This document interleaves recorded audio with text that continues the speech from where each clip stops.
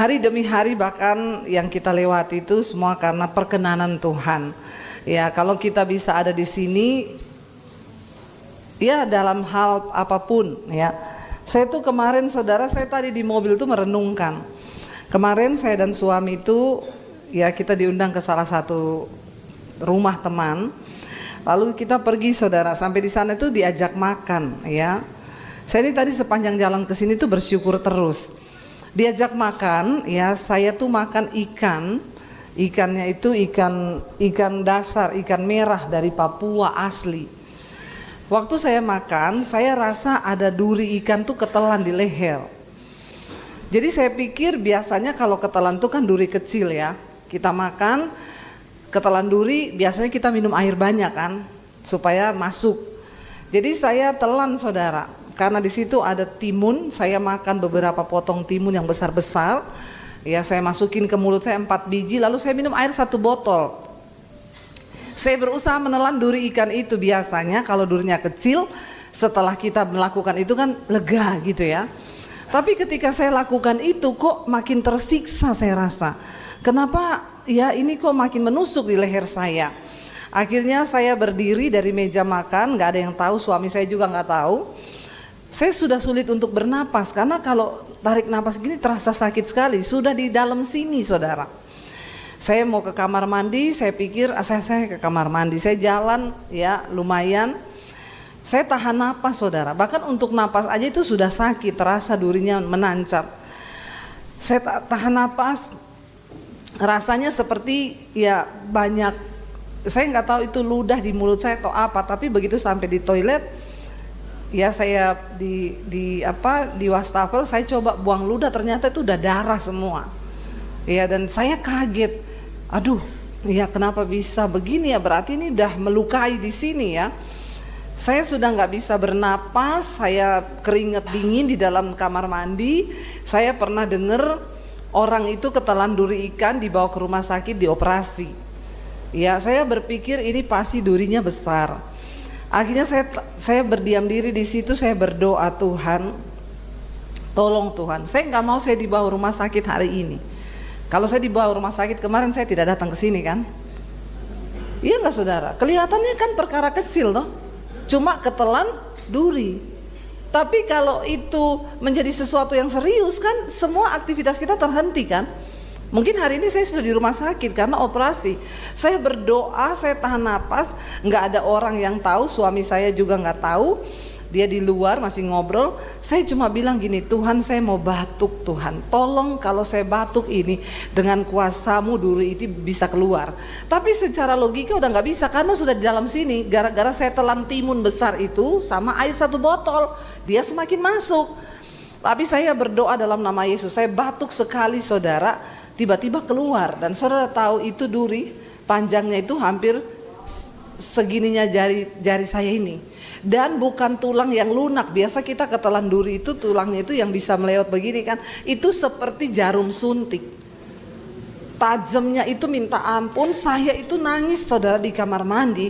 Saya bilang Tuhan Tuhan kalau bukan karena kuasamu tidak mungkin ini tidak mungkin karena saya sudah minum air satu botol dan itu duri sudah masuk ke sini saudara. Dan itu panjangnya segini bagaimana mungkin dia bisa keluar? Udah nyangkut kan saya udah muntah udah keluar darah.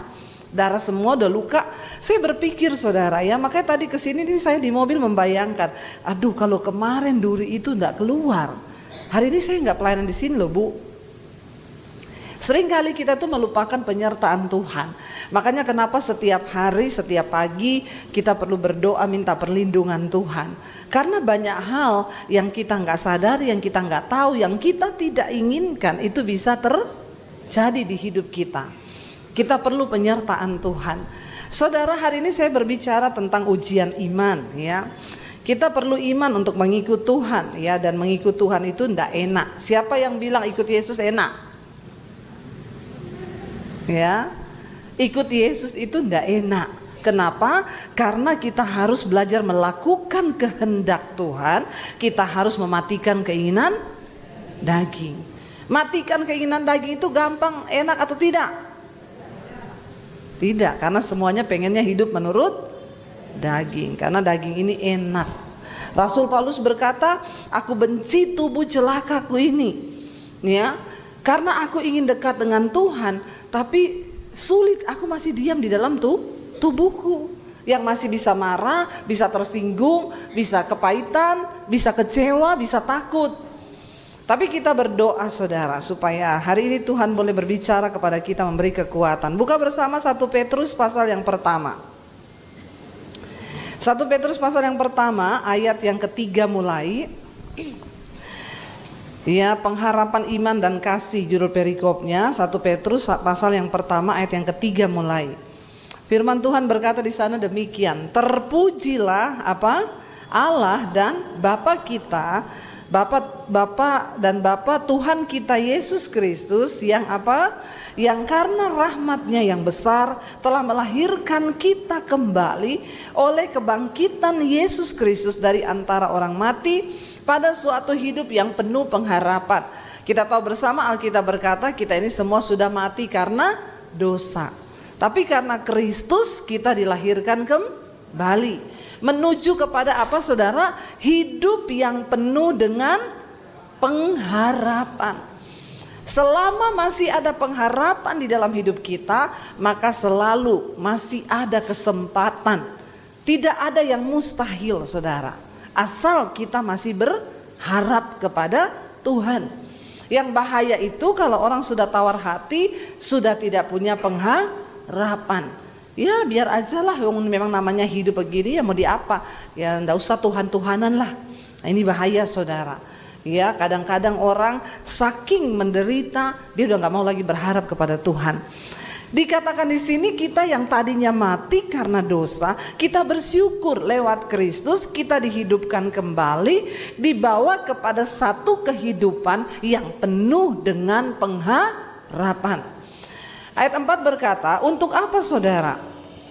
Pengharapan kita di dalam Kristus itu untuk menerima suatu bagian yang tidak dapat binasa, yang tidak dapat cemar dan yang tidak dapat layu, yang tersimpan di mana? Di sorga bagi kamu. Bilang kanan kirimu, Tuhan sudah sediakan di sorga loh bagi kamu. Ya, yang satu bagian bilang yang nggak dapat binasa, nggak dapat cemar, nggak dapat layu. Itu Tuhan siapkan bagi kita di sorga. Ya, jadi saudara, ya kita ini semua yang mau masuk sorga harus mulai latihan sekarang.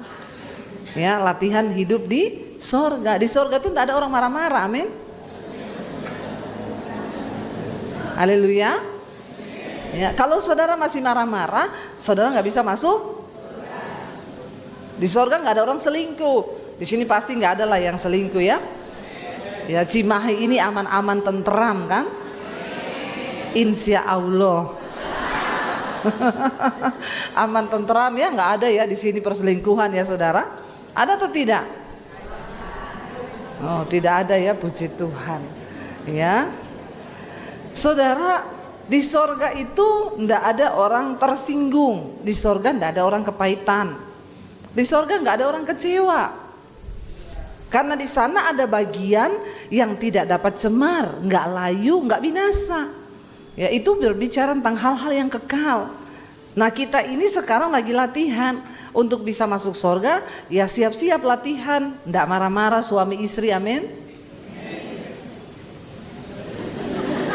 Kok abis amin tapi ketawa gitu ya? Jadi saudara ini menertawakan diri sendiri atau bagaimana gitu ya? Ya iya kan kita mulai latihan dari sekarang jadi orang yang damai sejahtera, ndak marah-marah, ndak tersinggung, ndak kepahitan. Dikatakan di sana ayat yang kelima, yaitu bagi siapa? Yaitu kamu yang dipelihara dalam kekuatan Allah karena imanmu. Sementara kamu menantikan keselamatan yang telah tersedia untuk dinyatakan pada zaman akhir. Kita ini semua sudah menerima keselamatan dari Tuhan, tapi baru akan dinyatakan pada akhir zaman. Saya mau tanya saudara, kira-kira ada yang gagal nggak dalam perjalanan iman? Akan ada nggak orang yang gagal? Ada. Berarti keselamatan bisa gagal nggak? Dari pihak siapa? manusia, bukan dari pihak Tuhan. Dari pihak Tuhan keselamatan itu tidak pernah gagal. Siapa yang menggagalkan? Kita sendiri karena kita menolak kasih karunia Tuhan. Karena kita nggak hidup sesuai dengan firman Tuhan. Makanya Alkitab ini kita sekarang ini dipelihara dalam kekuatan Allah. Kita harus meminta kekuatan dari Tuhan sementara kita menantikan keselamatan yang akan dinyatakan pada zaman akhir. Jangan santai jadi orang Kristen.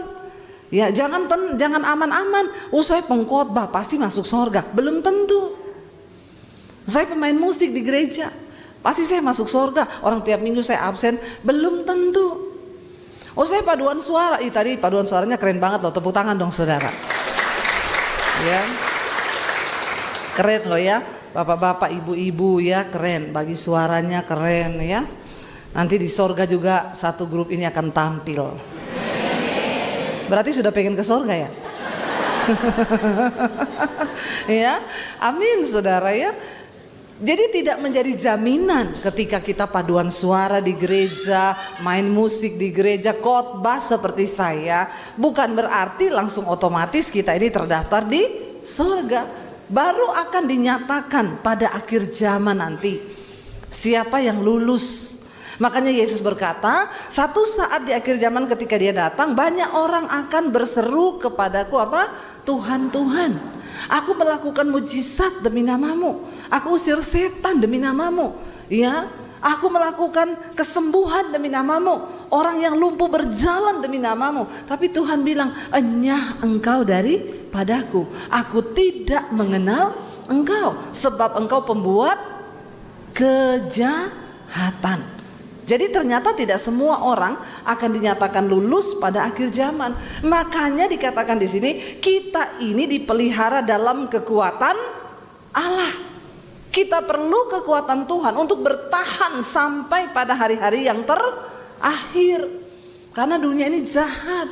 Iblis itu ya licik, dia ingin membawa kita jauh dari Tuhan. Iya, makanya saudara kita kenali strateginya iblis hari-hari ini. Iblis nggak suka kita hidup dalam kerajaan Allah.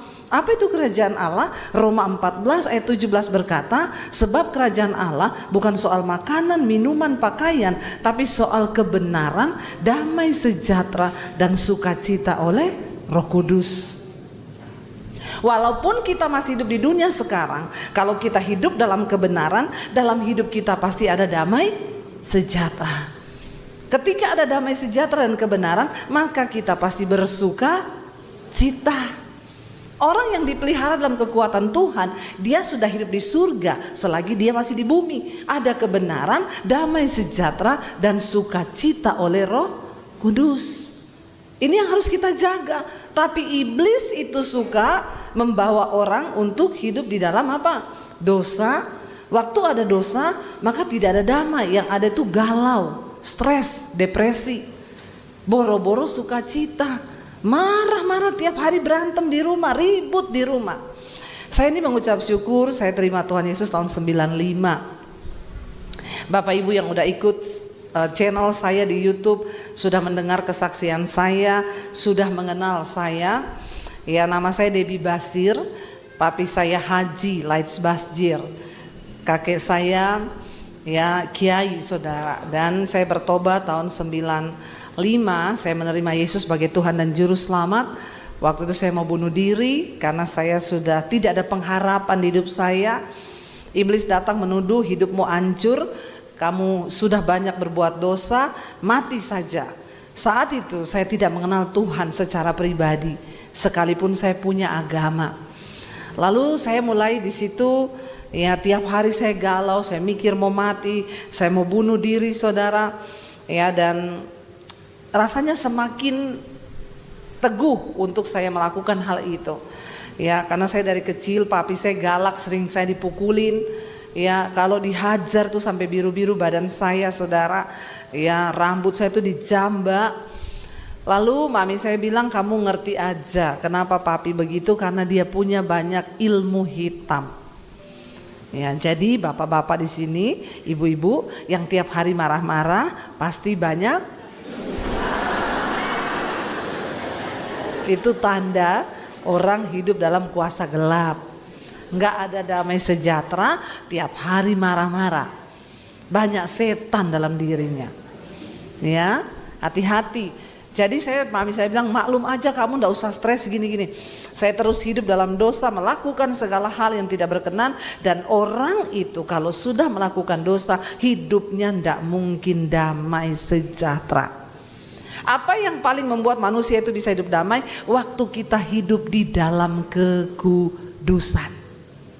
Bukan ketika punya uang banyak. Karena banyak orang punya uang tapi hidupnya tidak ada damai. Ya. Benar saudara, ya. Uang itu bukan jaminan kebahagiaan. Jangan salah berpikir, jangan suka iri kalau lihat orang kaya, enak banget ya, kaya. Saya banyak ketemu orang kaya raya ya ya ya ya. Tapi kalau pulang saya bilang sama suami saya, saya lebih bahagia kita. Iya, nggak bisa tidur kalau malam ya punya banyak persoalan. Tiap hari telepon saya diundang makan orang kaya. Saudara, dia yang traktir kami. Makan enak di restoran mahal, jutaan. Kami makan, dia terima telepon, marah-marah terus. Gimana sih? Saya kan sudah bilang. Baru duduk di telepon lagi. Bagaimana kamu? Maaf ya Bu Pendeta, maaf saya urusin kerjaan. Saya dibayari makan damai sejahtera enak ketawa ketiwi. Dia marah-marah. Jadi yang lebih dari pemenang siapa? Dia. Akhirnya waktu dia duduk, dia bilang, maaf Bu Pendeta ya, saya itu biasa urus kerjaan. Saya bilang, Pak maaf saya mau ngomong juga sama Bapak. Bapak ini kaya, tapi tidak diberkati Tuhan. Iya, benar. Ya. Lalu dia shock waktu saya bilang begitu. Ya, pulang dia bilang sama istrinya, pendeta gila. Berani banget ngatain saya kaya tapi tidak diberkati. Loh iya. Belum tentu orang kaya itu diberkati. Banyak orang kaya hidupnya nggak damai. Ya makanya saya nggak pernah iri melihat orang kaya. Justru kadang saya kasihan. Ya kasihan mereka itu tertipu dengan dunia. Tertipu. Kan Alkitab bilang hati-hati dengan tipuan kekayaan. Kekayaan itu menipu. Ya, makanya nggak usah kaya-kaya, amin. Lo kok ndak amin loh? Ya. Berarti kaya semua nih di sini nih. Lo malah amin loh. Kalau saya bilang orang kaya nggak bahagia malah amin. Bagaimana sih ini jemaat di Cimahi ini Bapak Gembala? Ya, jadi siapa yang mau kaya?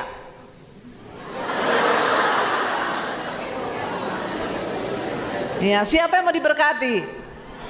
Nah, itu yang benar. Tepuk tangan dong buat jemaat di Cimahi. Ya. Saudara, ya kaya aja belum tentu diberkati. Tapi orang yang diberkati hidupnya berkelimpahan dan dia bisa menjadi berkat bagi orang lain. Itu tandanya saudara. Ya.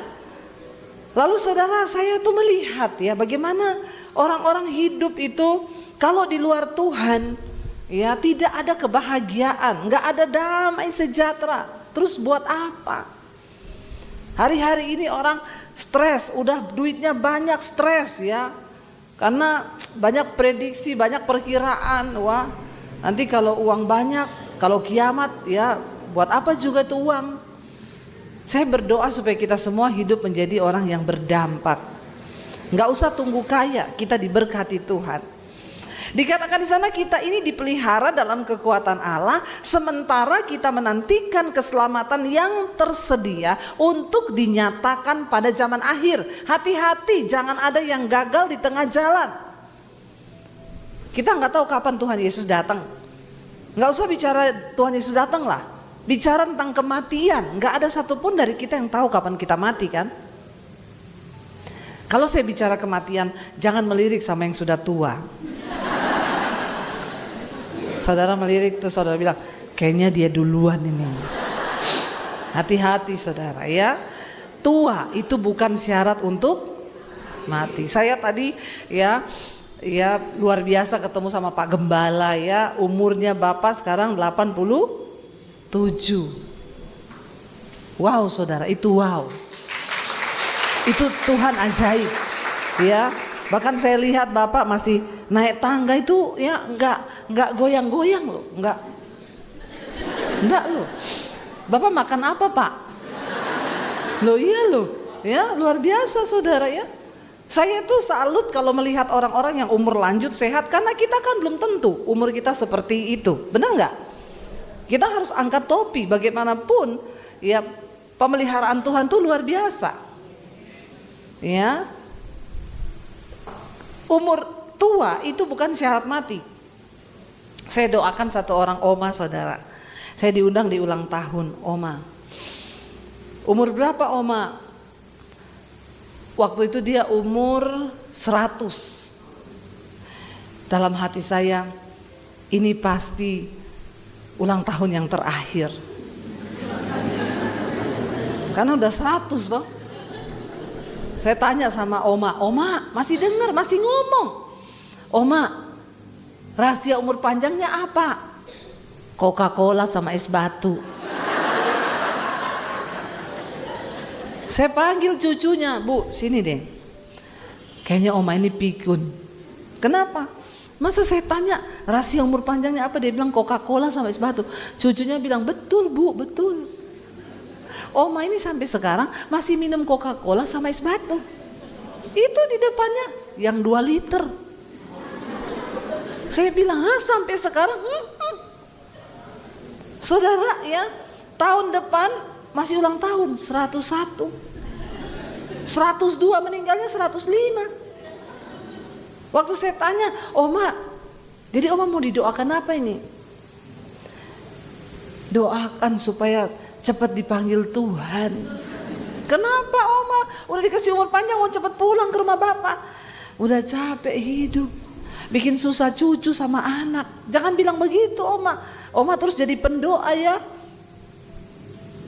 Saya pikir 100 tahun itu sudah terakhir. Ternyata masih sampai 105. Rahasianya minum Jadi yang mau sampai 105 pulang silakan. Hati-hati loh. Ya, menyesatkan ini. Makanya kadang-kadang kan kita dengar orang bilang jangan minum ini, jangan minum itu, jangan ini. Buktinya, benar nggak? Saya tanya, Oma olahraga enggak? Enggak. Angkat beban? Enggak. Enggak latih otot? Enggak. Minum Coca-Cola plus es batu. Saya ketemu satu bapak saudara ulang tahun. Umur berapa pak? 104. Hah? Bapak 104 Bapak rahasianya umur panjang apa? Dari umur 30 saya tidak makan daging, nggak makan gula, nggak makan tepung, nggak makan roti, nggak makan ini. Sekarang mencapai 104. Jadi Bapak mau didoakan apa? Doakan biar saya mati bu. Saya bilang Pak kalau tahu dari dulu makan saja daging, makan saja roti, makan saja tepung, makan semuanya. Lah sekarang Bapak suruh doa biar mati. Kan saya nggak mungkin doakan dalam nama Yesus matilah kau. Kan nggak bisa toh, karena mati itu juga ya haknya Tuhan. Saya tanya, ya ampun, ya 104. Nggak makan apa-apa. Yang lebih bahagia yang mana?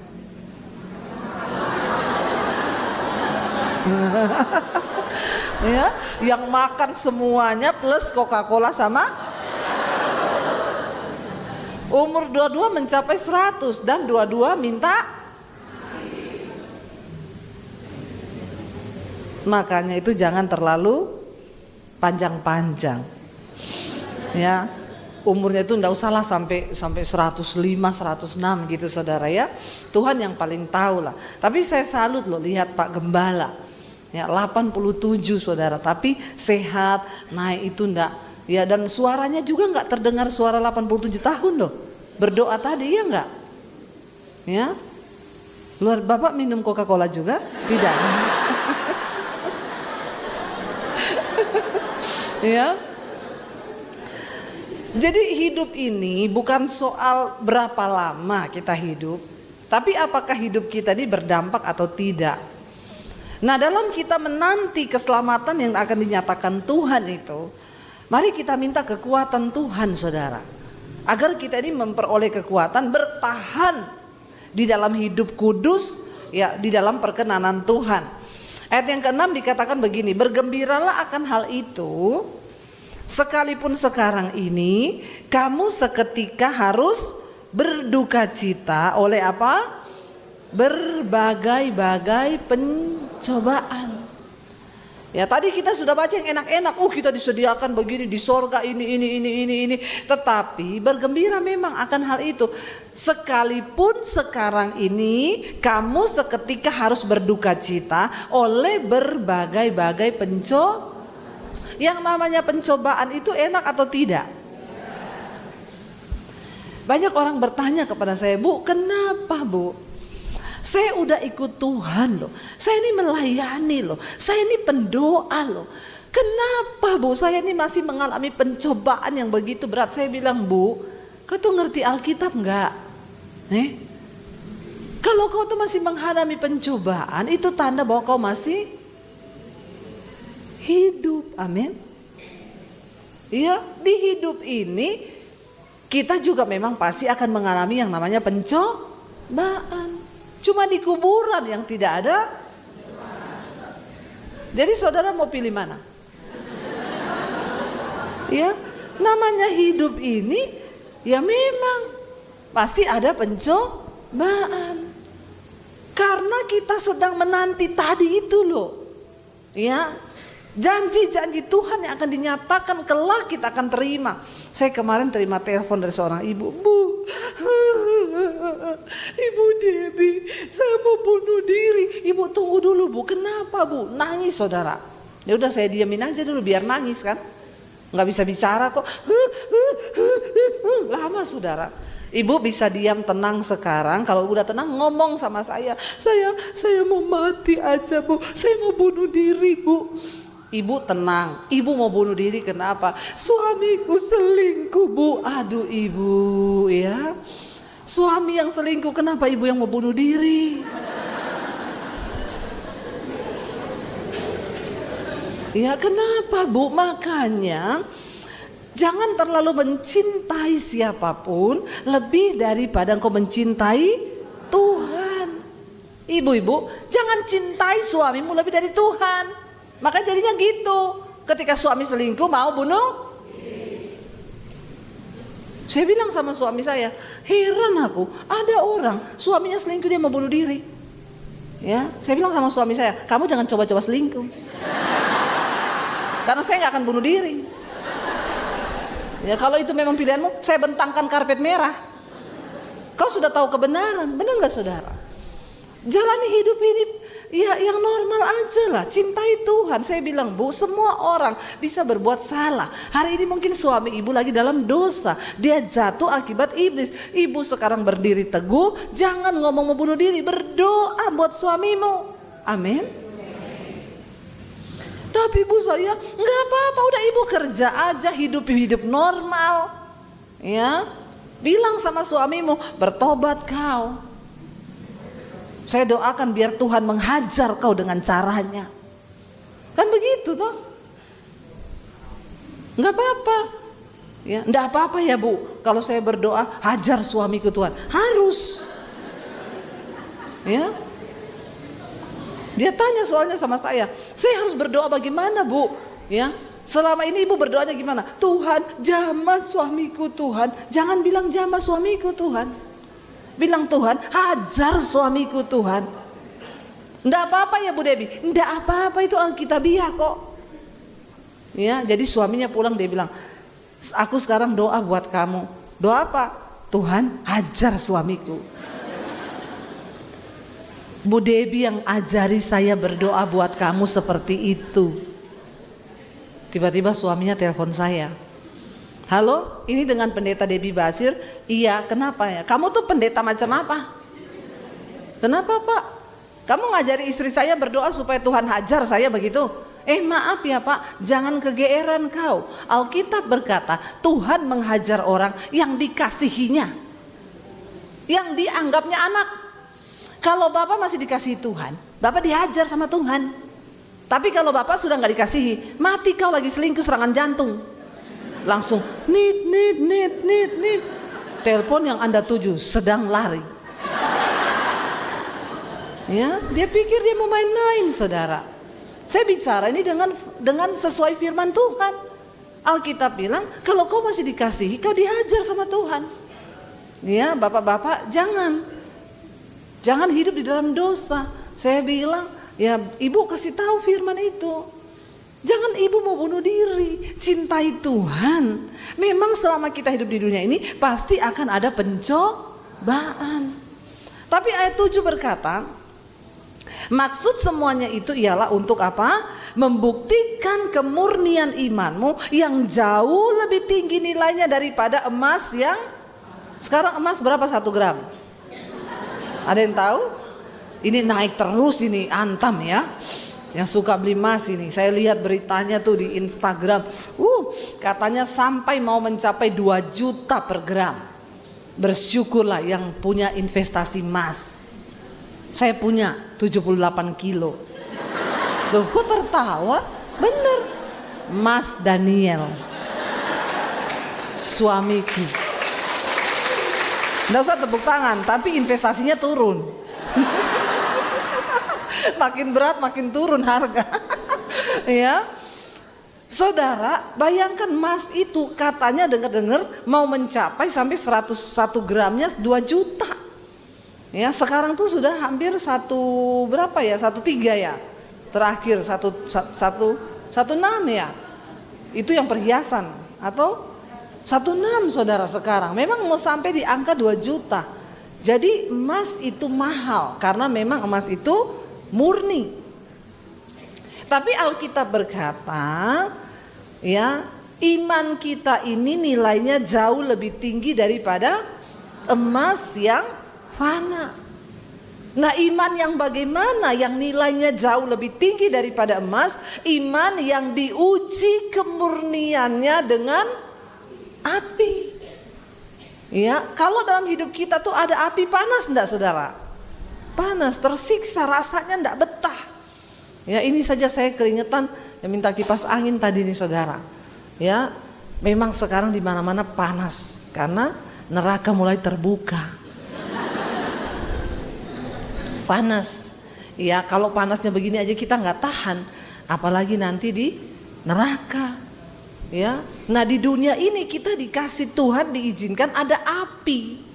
Emas itu dikatakan murni karena dia dibakar dalam peleburan api. Waktu di titik tingkat panas yang tertentu yang paling panas, emas itu terpisah dari unsur-unsur lain yang ada yang mencampur.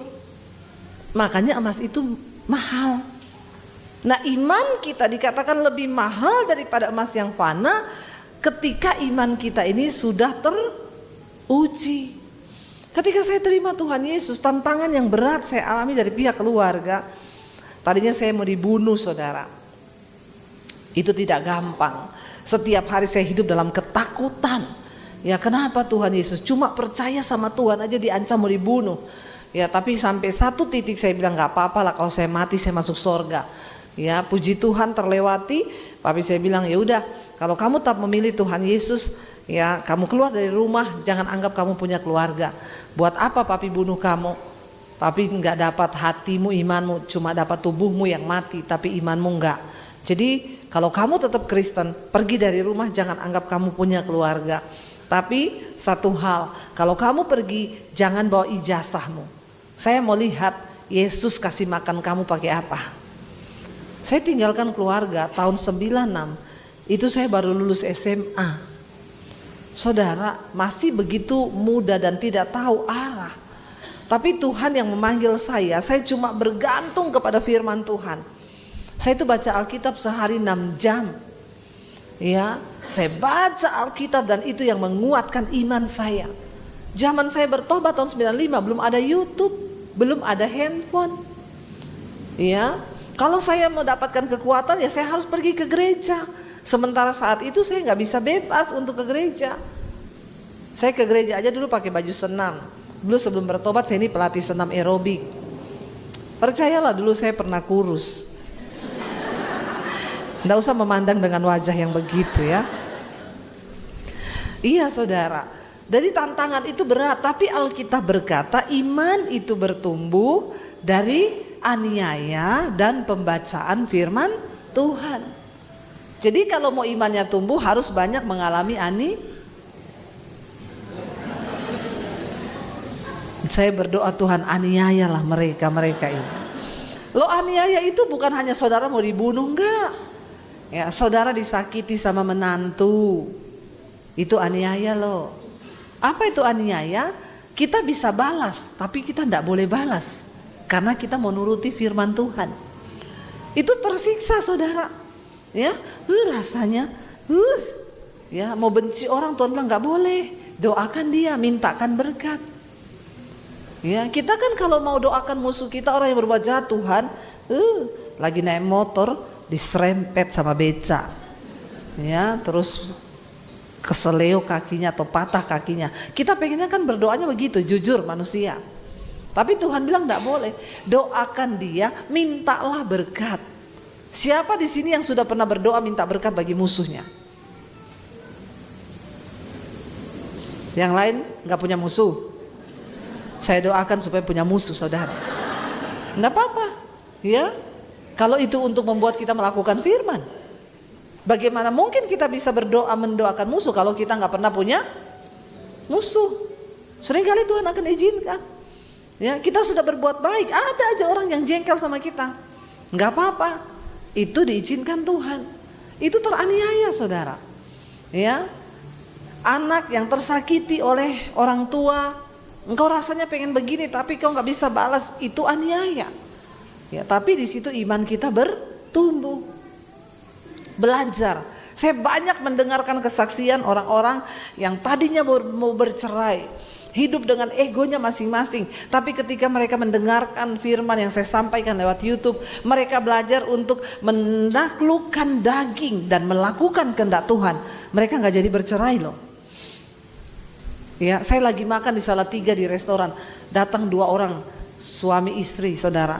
Tiba-tiba istrinya itu berlutut di kaki saya, dia nangis. Saya kan risih ya dalam hati saya, Bu, please ya Bu, Kenapa bu? Berdiri dulu, jangan begitu, nang, jangan nangis begitu. Ibu berdiri, nanti dipikir orang saya ini ngapa-ngapain ibu loh di sini, ya. Dia bilang, Bu, terima kasih Bu. Berkat semua firman Tuhan yang Ibu sampaikan lewat Youtube Ibu. Kami berdua ini tadinya mau bercerai Bu. Tapi sekarang kami dipulihkan Tuhan. Sekarang kami tiap malam ikut mesbah doa Bu. Terima kasih. Karena mereka mau belajar melakukan firman. Tadinya pertikaian dalam rumah tangga mereka itu menjadi satu kemelut api yang rasanya menyala dan sangat menyiksa. Tapi waktu mereka tahu firman, bahwa ternyata semua itu Tuhan izinkan terjadi. Ya, kita ini suami istri dibentuk ya, suami dibentuk oleh siapa? Istri, istri dibentuk oleh siapa? Suami. Ya, karena manusia menajamkan sesamanya. Ya saya dengan suami saya puji Tuhan kami dibentuk. Saya dari suami saya orang Solo, ya saya Solo Wesi. Ya, jadi Solo tapi ada wesinya. Kami ketemu saudara, dipertemukan Tuhan. Ketemunya di gereja lagi. Tempat yang sangat kudus dan sakral. Lalu ketika kami menikah apakah semuanya enak-enak saja? Enggak, ada proses. Saya pikir dulu saya ketemu suami saya pelayanan, saya juga pelayanan. Uh, ini sama-sama orang pelayanan. Pasti kalau berantem, haleluya. Puji Tuhan kau.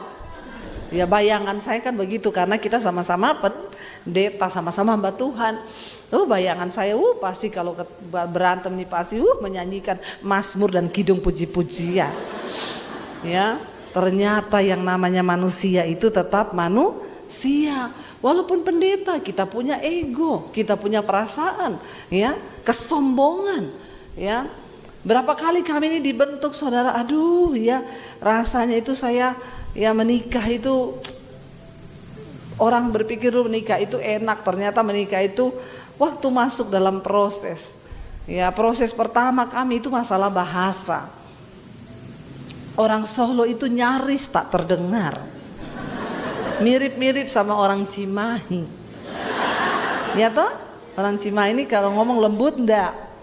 Ya, sementara orang Sulawesi ya kita nih kalau ngomong nadanya tinggi terus. Tiap hari tersinggung suami saya. Ya saya itu bicara sama dia baik-baik saudara. Saya panggil dia Jo, artinya bojo. Tapi karena orang Sulawesi yang panggil jadi Jo. Kalau orang Solo yang panggil kan Jo. Iya jadi saudara saya tuh manggil Jo ayo mangan. Dia datang gini Ndak usah nesu toh. Saya bilang aku ini ndak nesu ini biasa. Tapi nadamu tuh nesu ora. Stres saudara. Ya stres. Tiap hari salah pengertian dan itu Itu apa ya? Saya sudah berusaha loh Ya Tiap hari ngomong itu ngomong apa aja. Kenapa sih kamu kalau ngomong emosi terus? Yang tidak emosi malah jadi Saya itu ngomong sama suami saya, saya ini dibesarkan di Sulawesi. Orang Sulawesi itu kalau ngomong memang begini, selalu nadanya tuh tinggi di belakang. Dia bilang, makanya kamu tuh belajar. Belajar ngomong koyo wong Jowo. Gimana ngomongnya wong Jowo? Di belakang itu nadanya turun. Jangan naik. Saya bilang, ya saya akan coba, saya akan belajar. Ya, tiap hari belajar tapi masih keceplosan. Ya, jadi saya panggil dia, Jo. Ayo mangan. Stres sudah berusaha melakukan yang terbaik, tetap salah saudara. Bayangkan persoalannya itu terus kita berdua. Itu terus saya tuh bangun pagi ngomong, eh say itu gini gini gini. Dia teriak, aku kaget loh. Saya bilang lah, memang saya begini. Lama-lama nih kayak gini, aku bisa kena serangan jantung. Nah kan saya merasa Kok saya disalahin lagi nanti dia kena serangan jantung beneran dibilang gara-gara nikah sama saya. Ya. Jadi saudara, saya bilang kamu kalau memang mau cari istri yang kayak orang Jawa, kenapa kamu ndak nikah sama Sri Rezeki? Ya, kenapa kamu cari Debbie Basir? Gitu kan saudara, ngapain gitu kamu nikahnya sama saya? Saya ini orang Sulawesi. Setiap hari Mbok Nek ngomong itu nada belakangnya turun. Lalu saya bilang sama dia, coba kamu, coba kamu ngomong nada belakangnya naik.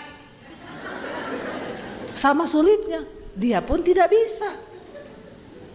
Orang saya itu kalau negur anak-anak saudara, saya bilang sama dia, kamu tuh kalau sama anak-anak, anak nakal marah, marah saya marah. Tolong please marah. Marahnya tuh, dek, gue kok ngono, itu bukan marah. Itu bukan marah saya, aku stres aku. Ya, jadi sama seperti dia berusaha untuk menyuruh saya lembut, demikian juga saya itu pengen menyuruh dia itu agak kami stres saudara. Tiap hari kita ribut cuma masalah begitu. Tiap hari ribut ya masalah bahasa. Benar-benar. Tapi ketika kami itu menyadari kami dibentuk sama-sama dari keluarga yang berbeda, saya itu di rumah melihat papi saya tuh kepala kantor, tapi dia bisa turun di dapur. Kadang-kadang dia bikinin mami saya kopi, kadang-kadang dia yang masak. Nah saya menikah dengan suami, suami itu dari Solo. Uang Solo itu, suami itu koyok rojo. Taunya duduk di meja, perintah istri, ya teh manis, g, istrinya g ya. Sego. Nggih. Jadi waktu kami menikah saudara bisa bayangkan saya datang dari keluarga yang melihat gambar suami yang seperti ini. Saya menikah dengan suami saya dia juga di rumah melihat gambar keluarga yang seperti itu. Ya. Waktu saya masih punya anak satu kami baru menikah tuh kan masih bulan madu tuh. Semuanya penuh madu. Ya biar capek, saya kamu capek? Enggak kok, enggak apa-apa, kamu duduk aja, belum punya anak, masih bulan, masih banyak madunya, madu kelengkeng, madu hutan, ya toh? Begitu punya anak satu dua, enggak pakai pembantu, persiapan madu mulai entek. Yang tersisa tinggal lebah Apalagi kalau lebahnya lebah hutan. Itu kalau gigit berbisa loh. Ya. Waduh saudara stres saya. Madu mulai habis, saya urus anak dua, ngurus di rumah, dia seperti raja. Kopi. Ya. Kalau dulu enggih. Ya sekarang eh punya kaki dua, tangan dua atau sama kan? Ke dapur sendiri sana. Ada gula, ada kopi di sana, bikin sendiri. Kaget dia. Ih, kenapa jadi lebah hutan? Ya, memang begitu. Ya, manusia aslinya keluar, saudara. Pendeta juga manusia. Punya rasa, punya hati. Jangan samakan dengan pisau belati. Ya enggak saudara? Ya, akhirnya dia di situ mulai kaget dengan saya. Saya pun juga ya, kamu kira ya, kamu tahu nggak papi saya itu kerja kantor, kepala kantor, pulang dia masak di rumah. Kadang-kadang dia bikin mami saya kopi. Ya memang papi saya itu suami teladan. Dia jawab, makku, makku itu istri teladan. Bapakku tinggal minta sego, ingge. Dia bilang, aku ndak pernah lihat makku marah-marah.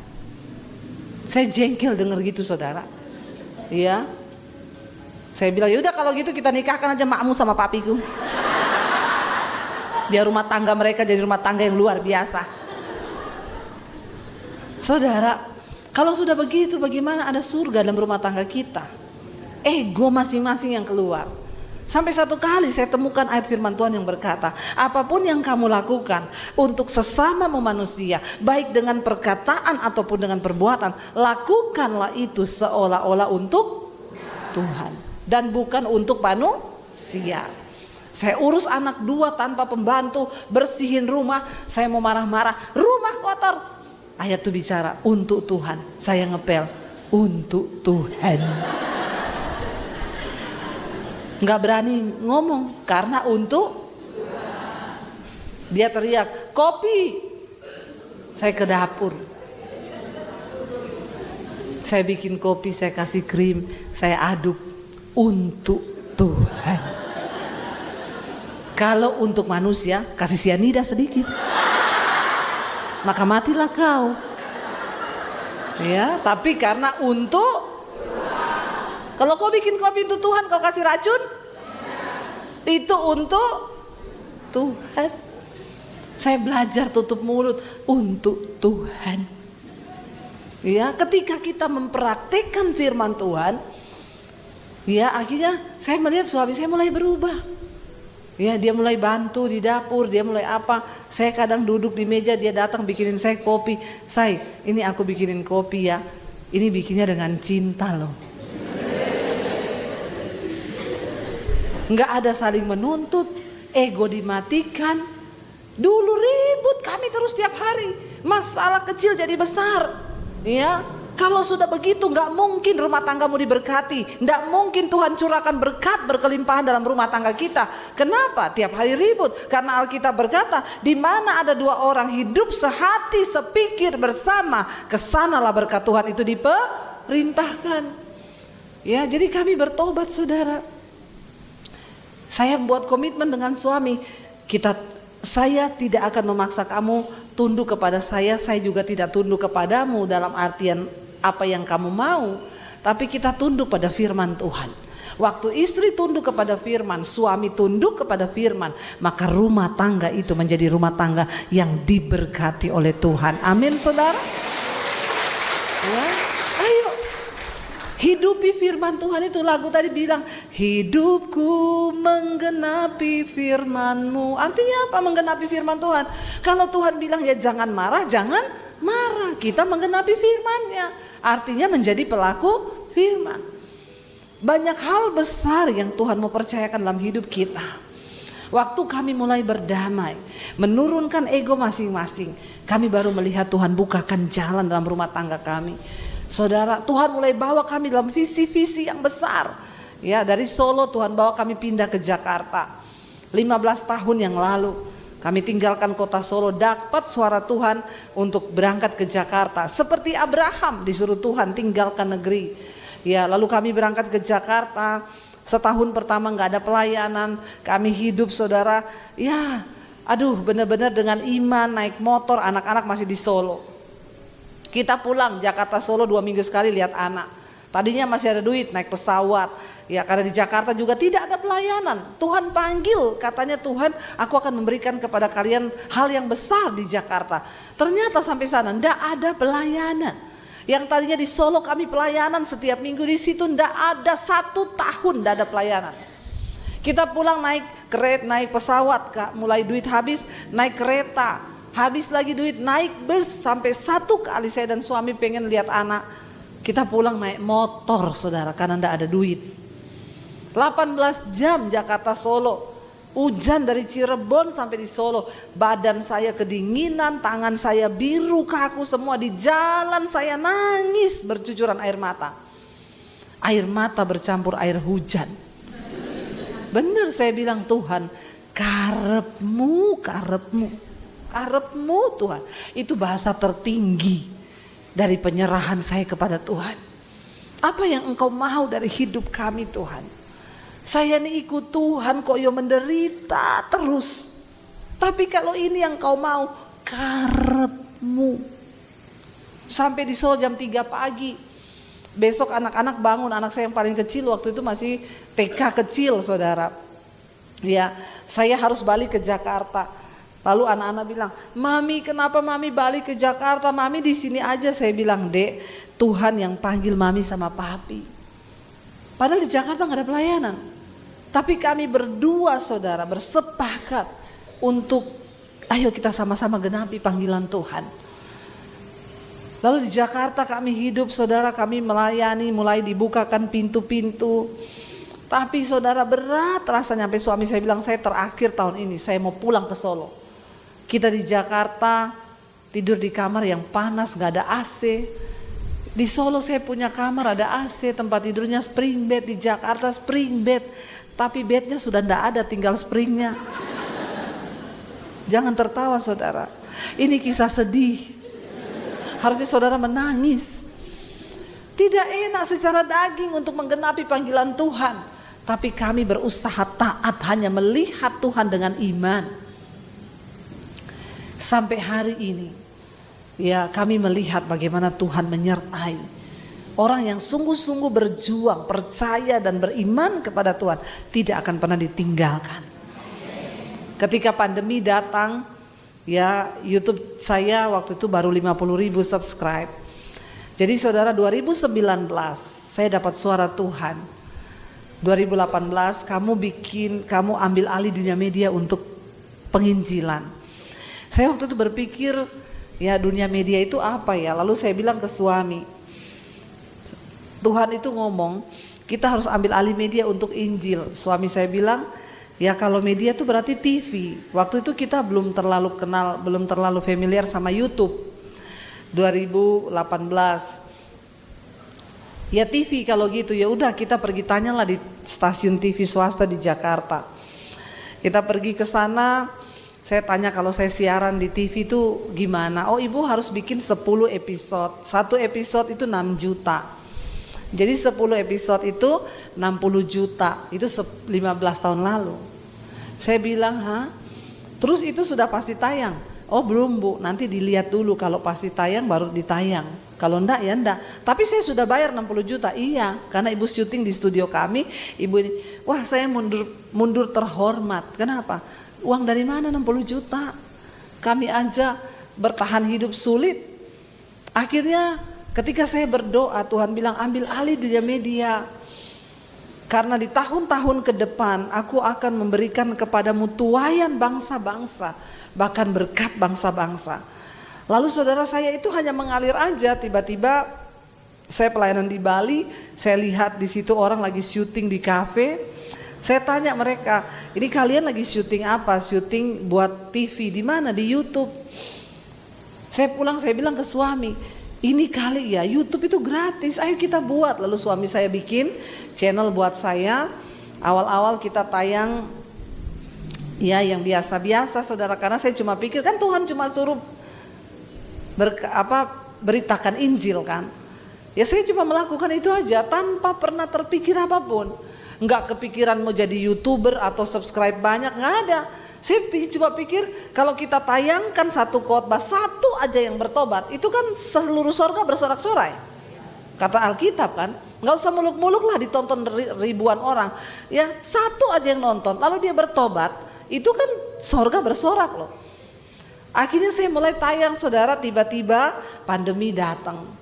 Ketika pandemi gereja tutup semua, kami nggak bisa beribadah, tidak bisa pelayanan. Saya dan suami ini hidup, ya kami ini full time, tapi kami nggak digaji dari gereja. Tapi kami melayani sepenuh waktu. Jadi hidup kami benar-benar ya seperti orang Lewi, kami hidup dari pelayanan. Ketika pandemi datang nggak ada pelayanan, channel saya waktu itu hampir 50 ribu saudara. Tiba-tiba gereja tutup, orang nggak bisa ibadah, orang mulai cari gereja, orang mulai cari di YouTube. Waktu pandemi itu saudara, YouTube saya naik setiap hari bertambah 1000 subscribe. Sehari. Itu saya nggak tahu. Itu padahal YouTube sendiri bilang kalau ada channel dalam seminggu bertambah 1000 itu di hacker Ya, jadi punya saya di hacker sama malaikat. Satu hari nambah seribu. Dan puji Tuhan sekarang ya 800 ribu hampir satu juta saudara. Semua kok nggak wow ya?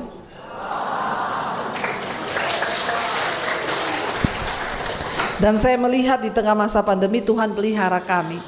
Tadinya kami mau pergi dari Jakarta karena di tengah pandemi saudara tahu kami hanya punya uang sekitar 10 juta 10 juta bertahan dengan tiga anak di Jakarta.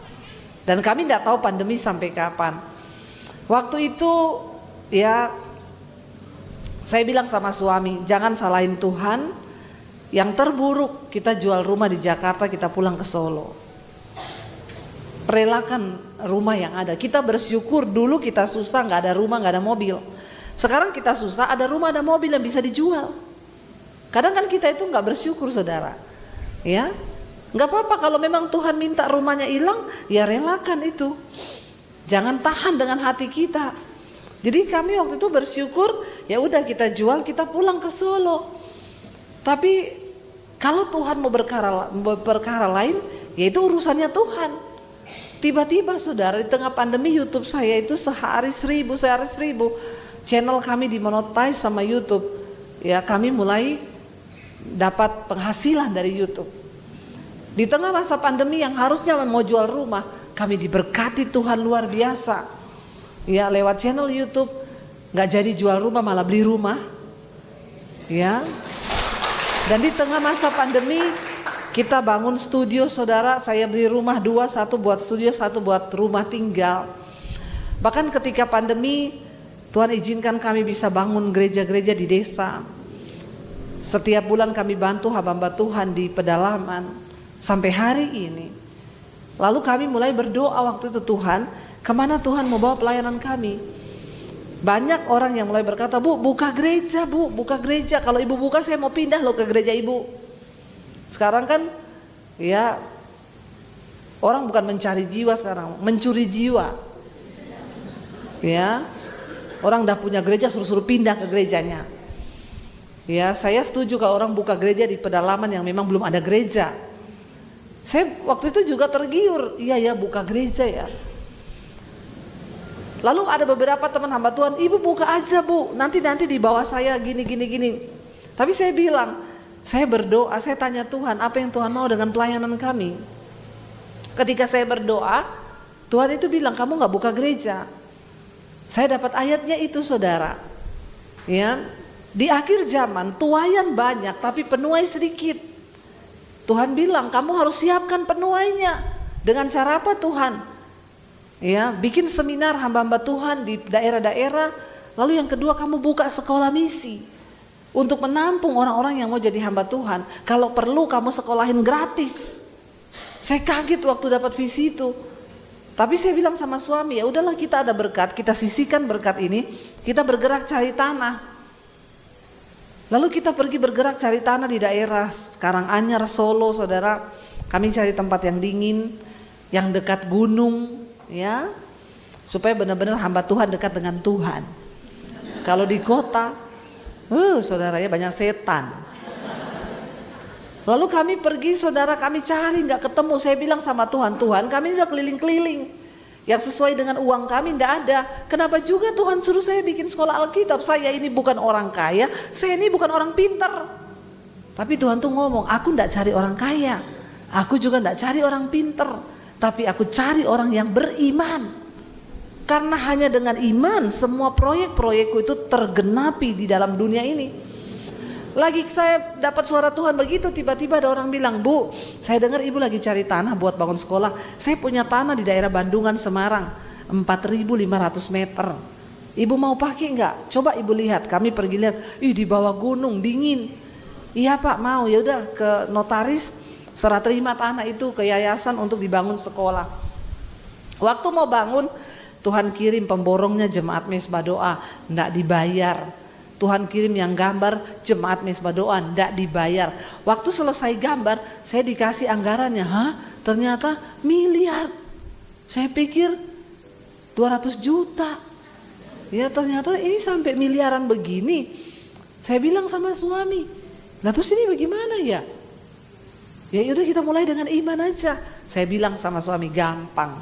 Nanti kalau saya siaran di YouTube, saya sekarang kan siaran itu dua kali satu hari. Pagi jam 5 pagi, mesbah syukur, malam itu jam, jam 8 malam. Setiap hari live streaming dua kali. Yang nonton tuh puluhan ribu saudara. Jadi saya bilang sama suami, gampang lah kita tinggal taruh nomor rekening di layar. Jalan-jalan rekeningnya muter-muter di situ. Saudara, saya sudah mulai pembangunan sekolah, saudara bisa transfer ke rekening ini. Kan sampai orang pusing lihatnya. Waktu suami saya bilang, mana saya rekeningnya yang mana yang mau ditaruh di YouTube? Saya bilang, doa dulu, berdoa Tuhan bilang, jangan sekali-kali kau taruh itu rekening di YouTube. Kalau kau taruh rekeningmu di YouTube untuk cari dana, aku tidak ikut bekerja.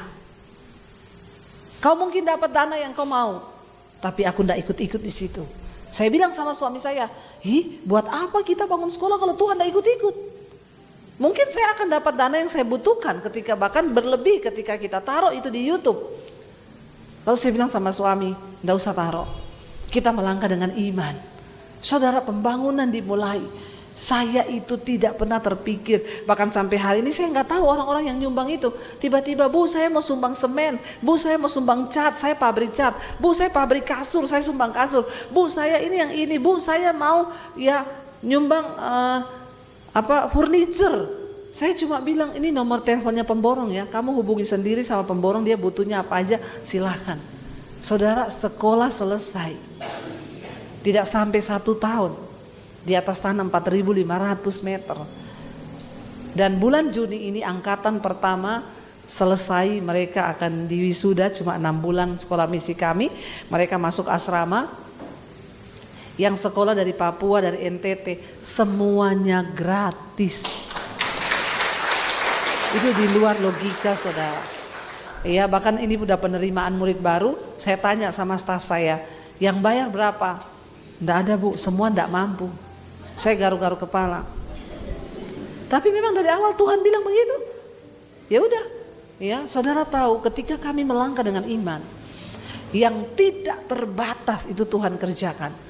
Sekolah saya nggak pernah berkekurangan. Orang setiap minggu ngantar beras, ngantar sembako, ngantar sayur, ngantar ayam. Sampai beras itu kelebihan kita bagi ke panti asuhan. Saya itu cuma melihat waktu kita berjalan dengan iman. Tidak ada perkara yang mustahil bagi Tuhan. Saudara, semua penderitaan yang kita alami itu untuk membuktikan kemurnian iman kita.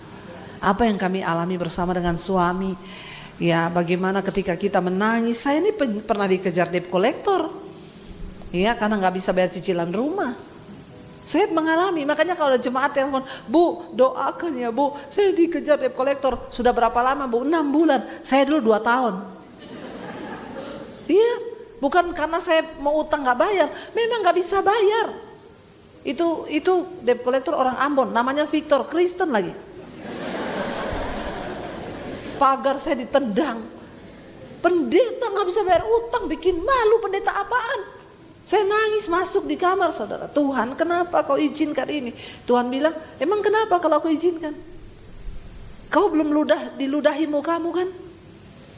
Baru begitu kan? Tapi di mana harga diriku? Piro harga dirimu piro? Saya menangis di kaki Tuhan. Saya nggak pernah telepon orang pinjam duit. Tapi saya harus mengalami. Ternyata supaya sekarang saya bisa cerita. Orang-orang yang datang telepon, bu saya dikejar debt collector, hadapi, bertobat, berlutut di kaki Tuhan, selalu ada jalan. Kami melewati banyak hal saudara. Ya, rumah pernah mau diambil balik sama Pak Haji, saya beli rumahnya Pak Haji, saya cicil sama dia, saya nggak bisa bayar. Ya, Pak Haji bilang, pendeta kok nggak bisa bayar? Ya udah saya ambil aja rumahnya saya jual. Saya bilang Pak kasih saya waktu Pak. Ya, saya masih kurang 400 juta waktu itu. Cicilannya 12 juta sebulan. Saya kurangi 6 juta. Pak Haji bilang, saya nggak mau dikurangi. Kalau ibu nggak bisa bayar, kasih saya, saya jual rumahnya. Ibu keluar dari situ. Saya berlutut sama Tuhan. Tiba-tiba orang bantu kami. Dilunasi saudara, 400 juta. Nggak dicicil, dilunasi sama Tuhan. Jadi saudara kami ini mengalami banyak persoalan ikut Tuhan itu ndak enak bagi daging kita. Tapi tujuan dari semua itu untuk memurnikan imanmu. Hari ini kami punya begitu banyak kesaksian iman. Kenapa? Karena kami mengalami. Saudara harus punya kesaksian bersama Tuhan. Waktu kita mengalami itu bilang Tuhan, aku akan menang menghadapi ini. Supaya aku punya kesaksian iman. Bagi keluargaku, bagi anak-anakku. Dan biarlah kita menjadi tokoh iman Amin saudara. Kita kan rindu nama-nama kita tercatat di dalam kitab kehidupan sebagai tokoh iman kan. Saya percaya waktu kita mau maka Tuhan pasti turut bekerja. Biar apa yang kami alami itu saya saksikan supaya kita sungguh-sungguh percaya sama Tuhan. Dia Tuhan yang berjanji dan tidak pernah sekalipun dia mengingkari janjinya. Karena itu bagian kita, ayo jadi pelaku firman. Ayo bertobat Ayo sungguh-sungguh hidup dalam Tuhan. Karena ada banyak hal yang supranatural yang bisa Tuhan kerjakan dalam hidup kita waktu kita sungguh-sungguh percaya.